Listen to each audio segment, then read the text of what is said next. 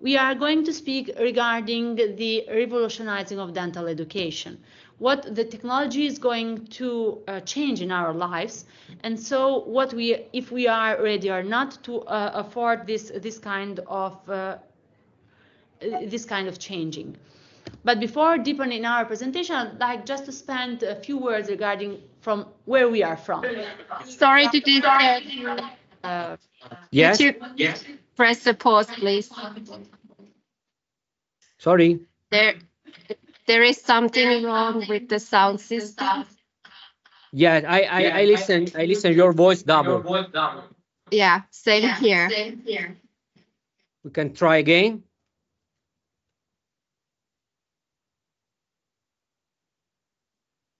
a small region in Italy, which is in the central Italy, and it's called Abruzzo.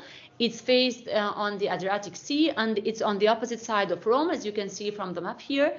It's uh, among uh, the mountains and the sea, and it has a lot of small towns, which are one of the most small, uh, one of the most beautiful small towns uh, in Italy. And uh, we, it has a climate, actually a very good climate, because we can we can go swimming in 40 minutes uh, in, uh, in, in the sea, or we can go in, in 10 minutes actually, or we can go swimming in 40 minutes in the mountain in, in months like April or, uh, or May, for example. And our university is located in this region. That, that is very strategic for the, for the students because it's very quiet and the criminality has a low rate and it's located in two uh, in two cities. Um, uh, a campus is in Pescara and the other is in Chieti. The biggest one is in Chieti, as you see here on the on the on the bottom of the slide, or uh, the other one in Pescara on the top of it. It has a campus in a, an American style, and it's unique in, in Italy for its kind because in Italy it's not used to have American styles campuses uh, where the students can can do not only teaching but it, it can do also other sports and during its free uh, its free time or uh, other activities that can change their lives. We came from the Department of Innovative Technologies in Medicine and Dentistry, which is uh, uh, um, a new department. It was born in November 2020 and it's composed by scientists belonging to the medical, dental, biological, biochemical, and physical sciences. And through the innovative, uh, through the latest innovative technologies, we are going to implement not only the, the teaching, but also the research activities in the medical, surgical, and odontostomatological uh, fields. So we are going to give to the to, to our students the possibility to have the latest technologies applied to the to the dentistry where we are going for of we are going to speak today. We have a lot of uh, professors, researchers, and uh, administrative uh, and technic technical staff within our uh, our uh, department. But we are going to speak regarding dentistry, which is an um, qualifying degree. So it means that we are going that we have, we should prepare our students to be qualified uh, the, the, day after they uh, degree in dentistry because they have to uh, to treat the patients so they have to be really very practical not or not only theor theoretical. So we have to prepare them on 360 degrees. Well actually the dentistry in italy uh, nowadays lasts six years and uh, it, it, the student has to to uh, to do like 360 uh, credits during the six years but what we have to offer to our uh, to our students we have to offer not only a teaching of the ba basic sciences but also the professional professionalizing teachings because they are going to be uh, dentists so they are going to treat the mouth of the patients. And we can do it through uh, thanks to the, the possibility to have a dental clinic within the campus of Chieti where the students can go and uh, and follow uh, through internships or through different degrees, uh, different branches of dentistry, they can do their practical uh, within this uh, clinic on the patients, on the patient, not only on the on the phantom. Because today we we can use we we can use the the um, the, the classes not only to perform the, the, the, theoretical uh, part, but also for the uh, practical uh, practical part. As you see in this uh, in this digital digitalized uh, classroom, we can help students to prepare their teeth, for example, on phantoms, not on not on patients, because they are going to do it on patients a little bit later when they have gained some uh, skills and some abilities to to work on the on the mouth of the patient, on the mouth of the patients, and this is through the internships. But we are going to, to speak today regarding the uh, regarding two branches of dentistry the, pro, uh, the prosthodontics and implantology. But what is uh, prosthodontics? What is a prosthetic or prosthesis? What, what is it? Well, through uh, like the glossary of prosthodontics terms, the prosthesis is an artificial replacement of part of the human anatomy restoring form, function, and aesthetic. So we have to have ability to see which is the aesthetic of the patient, which is the function, and which is the form of uh, the, the, the, the, part of the body that we are going to replace. And in this case of the, uh, of the dental prosthesis, the part of the mouth that we are going to replace and of the teeth specifically. Today we, we are going to, uh, through this video, we can see how we, we prepare the teeth of the patients uh, to, to host uh, a dental prosthesis and we are going to base it on what we have been learned during what we have been taught uh, during the uh, during the classes in our degree. And uh, we know from a theoretical part that we have uh, to take uh, the, the bar along the long axis of the teeth and that the, the mesial and the distal uh, wall of the teeth, they should be parallel on, uh, on some kind of uh, four and six degrees and that the teeth should be parallel, the one with the other, the, the adjacent teeth. But we this is all theoretical and we are going to practice more and more to become a good practitioner so it means that only who has who has uh, done a lot of uh, a lot of processes is going to to perform uh, the best process is going to perform a correct processes not the pay, not the student that is going to to be to to perform its first processes. But we want to give the possibility to our students that they should measure the, the, the mistake that they are going to perform in, in, this, in, uh, in this kind. Actually, the, the evaluation of the processes of what the student have done is only on um, is only on a um, is only uh, visual because we are going to see which uh, what have done the, the, the the student but we are not going to measure it and so we are not going to have a quantitative evaluation of the preparation that the, that the student have, have performed. The same we have uh, on the uh, implantology, where the digital uh, technology has uh, even gone uh, a little bit faster.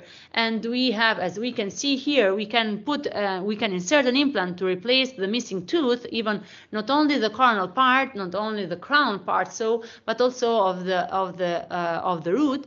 And uh, even in the implantology we have to respect some architectural uh, architectural um, principles for example, it, it should be parallel with the other teeth and also with the wall should be an adequate quantitative uh, tissue around the, the, around the implant. But in this case uh, that you see here, a, a, single implant placement, it's really very simple to perform and it's not quite quite difficult. But we can have some cases, more more difficult cases, for example, where we have an edentulism for one or for more than one more than one one teeth, for as in this case, the second quad, uh, the, the the second uh, part of the upper jaw is total uh, uh, and so we can we we we should we should prepare the students to afford also this kind of situations. This can be done also with the help of the of uh, uh, surgical guide, but it can, but in some cases, like in this one, for example, we cannot use the surgical guide at all, but it's only the expertise of the of the uh, of the operator that is going to place these implants in an adequate uh, way. So we have here, we, we should we, we should absolutely use the digital techniques even in dentistry, in, in implantology, they are used nowadays like for example the guided surgery. When we can plan our our the, the insertion uh, the insertion of our implants we can uh, almost plan it on uh, on the uh, on a computer as we can see here and we can uh, choose what kind of implants we're going to place which are the dimensions which is the position which is the parallels between these implants and so on. So we can have a planification of this case in a digital in a virtual way and then can print uh, uh, a surgical guide and then put the uh, and then put or insert the implants on the mouth of the patients. For, for example, in this case that have been performed from Gian Maria, we see a 84 uh, year old woman that have rehabilitated all the maxillary part with uh, surgical uh, through a surgical guide and through the digital um, surgery but we have we we we, we ask ourselves and said but is what we have planned uh, through the digital part is it going to be real at the mouth of the patient? Is it uh, so? Or maybe there may, may be some discrepancies between the planification and what we really uh, do on the mouth of the patient. So we have uh, performed this uh, this experiment and that that have been published on the Journal of Clinical Medicine, where we evaluated the accuracy of DICOM, DICOM versus DICOM and STL protocols, and we we see on a, on a surgical guided on um, through a guided surgery, through a computer guided surgery, and we we went to to to see the implant position, the neck, uh, in, uh, the the discrepancy at the neck, at the apex, on the depth deviation, on the angular deviation, and we and we show that there is a discrepancy between what we planned and what we are going, what have been uh, done to the patient, and it's measured like from one to two millimeters of discrepancy, and uh, uh, which depends on the cases. But the most important thing is that there is a discrepancy. It it depends on if we are on the upper or on the lower on the lower jaw. But what we are going to see to the patients uh, to the patients today, what we are going to give to the patients today is that we are going to prepare them on uh, on some phantoms as we see here to reduce the teeth and to have the ability to work with a bar uh, uh um, outside the mouth of the patient first and then in some phantoms and then on the mouth of the patient. But as we see here we can see if they they if they did it quite adequately but we cannot measure if it's correct or not. So it's only visual if uh, we can if we can see and the professor is going to see the, the preparation if had been if it has been done correctly or not so it's only visual this this evaluation and not quantitative and not quantitative one. But we have to give to our students the possibility that they have to measure at the same at the same point if they have done and which is the error that they have that they have done. Today, uh, actually, we know from uh, digital from a, uh, a clinical from um, evidence-based dentistry that we have a 10-year survival uh, rate of fixed bridges of 65%, but we have to to increase it and to be to have a, a higher percentage and uh, a long-term evaluation. But uh, today, what what we gain with the conventional dentistry is uh, this this percentage, 65%. But we also, uh, it has been uh, published in, um, in literature, a very interesting paper, which is which gives a 90% of dentists, they are prone to invest in techni technical, technological renewal. So it means that they are prone, they are ready to invest on uh, uh, technologies, on new technologies. And we, ha we have to reflect regarding this because it means that our students, they belong to a new generation. So they are really more prone uh, regarding uh, more prone on using new technologies. So we have to prepare the, the our students on new technologies, uh, on new technologies that today we can use, but even more important, we have to prepare them on the uh, new technologies that the future is going to give to us. But for this, it's going, Gian Maria is going to speak more in, in deep and more specifically what the OMG system is going to give to our students.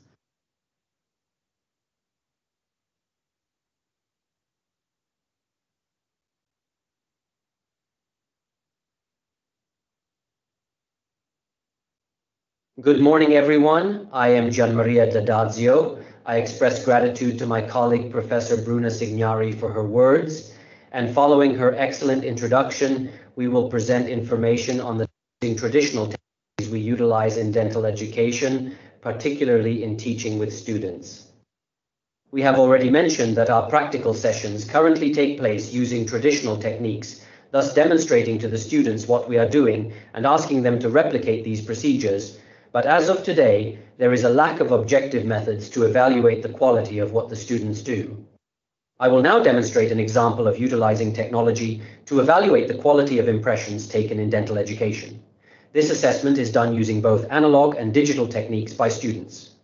In short, let us explain what an impression is. It's the recording of the patient's dental arch, done using a traditional technique as briefly shown in this video. This video is taken from a historical film that essentially provides us with information about the patient's dental arch, which is made with traditional techniques. This is a technique that is currently well established and also supported by a strong evidence base in literature, but it does have disadvantages, especially concerning patient comfort and the ability to work with colleagues from the other side of the world. On the other hand, what we see in this video is an impression taken with digital techniques that allows for capturing the patient's dental arch, a scan of the patient's mouth that provides us with a digital file, offering the advantage of making immediate corrections, digitally assessing the quality of the work, yet with the disadvantage of requiring an economic investment. In relation to our teaching methods, we carried out an initial study in which we requested the students enrolled in the dental degree program to take an impression, specifically an optical impression. As a result, all of the second year dental students, along with one of our teachers, took an impression using both traditional material and an optical impression on a volunteer subject. Subsequently, we compared the impressions captured during the process using engineering software digitally in order to evaluate the students' work objectively and ensure an unbiased assessment. What we did, therefore, was overlay these impressions to assess if there were any errors on the part of the students.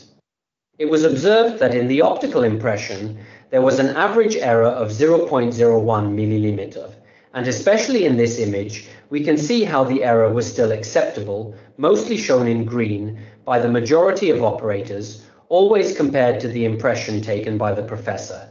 We performed the same procedure with the conventional impression, which was subsequently converted into digital format for error evaluation. This evaluation revealed an error of 0.03 milli, three times greater than the previous error. This finding demonstrates that modern students have a greater inclination towards utilizing technology and that the errors they encounter in the digitally recorded impressions are significantly less severe. However, this data also enables us to assess over time the progression and learning abilities of students objectively, thereby allowing us to quantify their performance, let's say from an educational perspective, for example, in order to gain valuable insights. Now, I will give a brief presentation by showing a short video to demonstrate our invention, which we are introducing today, and explain how it is assisting us in teaching the students.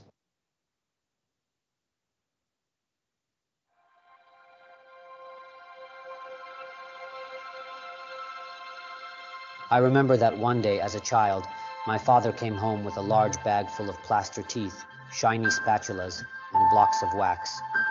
I was extremely captivated by these objects, by these toys, by these shapes, by these adult things. They truly intrigued me. Well, I'm sure not everyone is fortunate enough to pinpoint exactly the moment when they realized what they wanted to do when they grew up. But I'm certain for me it was that day.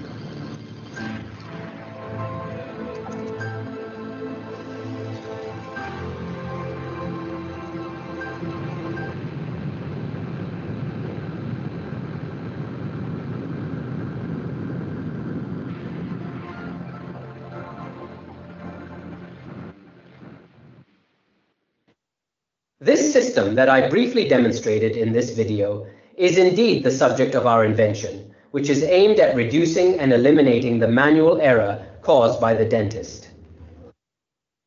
What occurs enables us to manage the patient's involuntary motions, possess excellent visibility, even in regions with restricted access, and achieve optimal working angles both during the placement of the implant and in the preparation of the teeth for the placement of the prosthesis.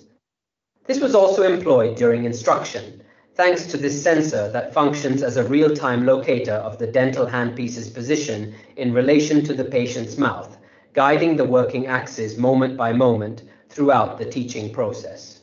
Thanks to an extraoral sensor that connects to the dentist's handpiece, an intraoral sensor that connects to the patient's dental arch, and software that calibrates the patient's position relative to the operator, providing the dentist with real-time guidance, thereby improving the accuracy of restorations and offering numerous benefits for the patient, including reduced working time and decreased intervention costs, making it a valuable tool in modern dentistry.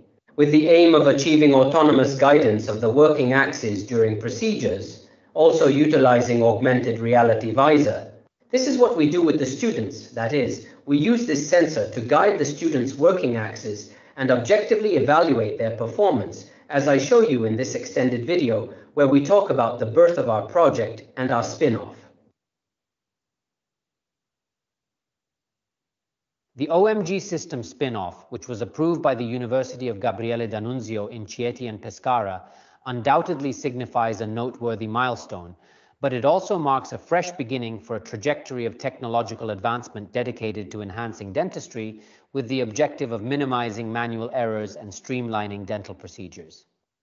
At OMG, we have created a smart device that is capable of digitally guiding the dentist's work axis with the aim of reducing errors and simplifying manual procedures.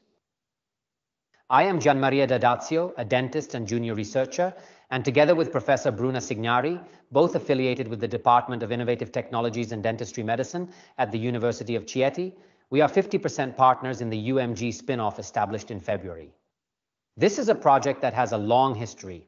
Under the guidance of the professor, we have collaborated for years on basic research projects, clinical research, and clinical assistance activities, and we have always questioned how to improve, how to enhance the manual procedures of the dentist. In fact, to date, technological support in dentistry has greatly enhanced clinical practice, yet it has not bridged the gap in manual procedures, where technical scientific knowledge and extreme manual precision are crucial. To start, we conducted a literature review and identified a gap between scientific research and industry. To this day, no device on the market provides the ability to accurately determine the exact relative position between the dental handpiece and the position of the patient. The economic boost for the development of this project initially came from a research grant and later from a researcher contract promoted by Alditimo within the framework of the PON project. Within this project, a collaboration was established with the Abruzzo-based company Digisol, led by Giuseppe Di Giulio and specializing in automation and 3D systems. Thanks to this collaboration, we have reached the development of the device as we know it today. A device that consists of a pair of sensors, the first to be attached to the dental handpiece, compatible with all dental handpieces on the market, and the second inside the patient's oral cavity. These sensors communicate in real time thanks to proprietary software, allowing for a digital guide of the dentist's work axis. All of this translates into significant advantages in terms of economic and environmental sustainability, benefits for the patient, and advantages for the dentist, as we are able to achieve productions at a lower cost, with faster production times, and with increased precision. Furthermore, the device is backward compatible with all handpieces, with all drills currently available on the market, thus allowing a reduction in expenses for purchasing the device.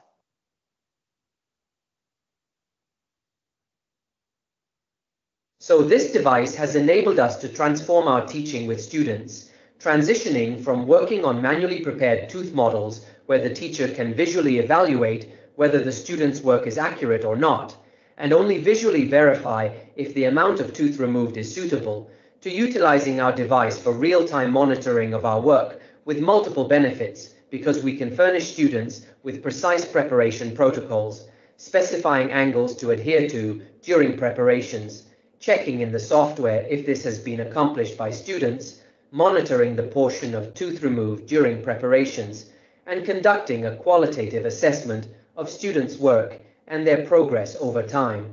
This has revolutionized our teaching approach and greatly enhanced the learning experience for our students, enabling them to receive immediate feedback, improve their skills, and track their own progress. In these images, we see the software analyses that we can perform to calculate the amount of tooth removed and thus the skills of the students. We have also employed this device in vivo for implant placement in a patient's mandible with the objective of enhancing the precision of our procedure, reducing time, simplifying the procedures, and thus enabling even inexperienced dentists or students to perform these procedures with greater ease and confidence. In these images, we see some of the data we are analyzing, where we compared the preparations made by students manually or thanks to the use of the OMG system device. What we observe is indeed a statistically significant decrease in the quantity of extracted tooth, but most importantly, an enhancement in convergence angles. In conclusion, this device allows us to optimally guide the working axis, leading to an improvement in clinical practice, benefiting the dentist, but especially from an educational perspective, being able to provide clear protocols to students and monitor and control their work over time. Adjusting the working axis. In these images, we observe two of the national accolades we have received with our device, which is presently under potential internet coverage.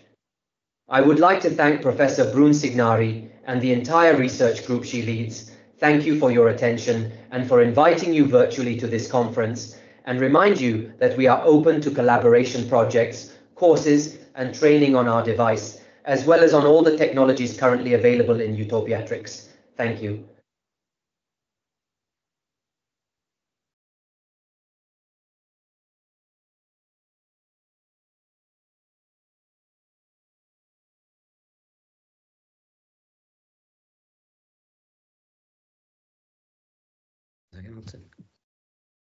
Thank you so much.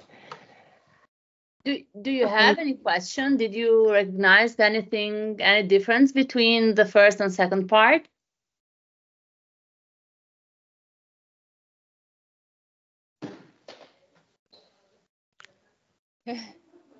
Just a second, so I will bring you to microphone so they can hear you.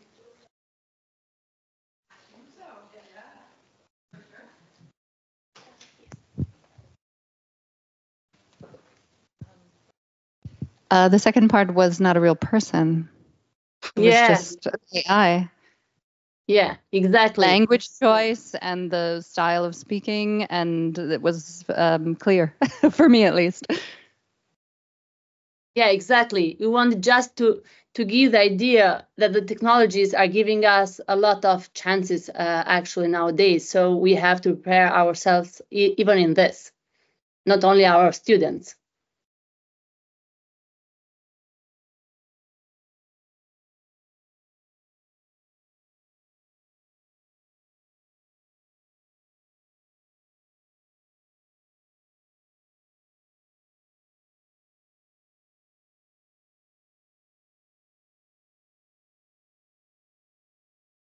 Okay, there might not be any more questions, but are you willing to ask something from the audience here? No, I, I just wanted uh, actually the, the, the question I did, uh, it was only a curiosity if they just recognize the differences between the real person and the not. Yeah. Thank you so much. And I was so brilliant that you could uh, join us via internet connection. Thank you And to you we for are all the efforts. Yeah, and we are having a lovely time here in Romania. I wish you were here, but this was better than nothing, wasn't it? Unfortunately, yeah, as uh, as we told you, we have two small babies. Uh, Gian Maria is waiting the the second, Second baby, one. the second one. So his wife is uh, like at the hospital, so we couldn't be there with you today. Yeah, but thank you, thank you. And we are about to finish in here as well and having a post bus tour in a city then. Hmm? Thank you. Thank you. Bye bye. Enjoy, Ashu. Bye Bye